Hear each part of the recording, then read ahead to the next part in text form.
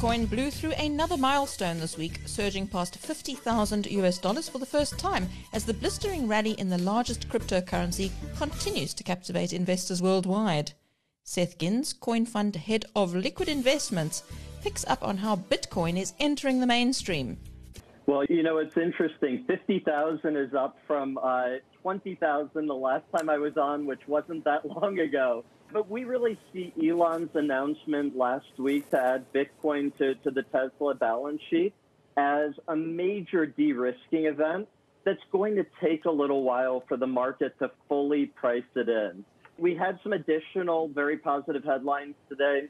The Bitcoin broker NYDIG filed for a Bitcoin ETF, and MicroStrategy issued another convert, 600 million going into Bitcoin. Christie's announced that they're going to do an auction for a work by Beeple. Beeple is one of the most popular digital artists, about 1.8 million followers on Instagram, collaborations with Louis Vuitton, with Nike, and this is going to be a, an online auction for a work that he's been putting together since, I believe, May of 2007, where he's been doing a new artwork every day.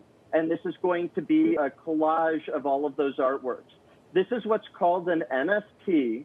So he's going to mint it on the blockchain and it's going to be digitally scarce. We're seeing blockchain merge with traditional IP, and that's what's really exciting about this moment. For more on Bitcoin, do go to biznews.com.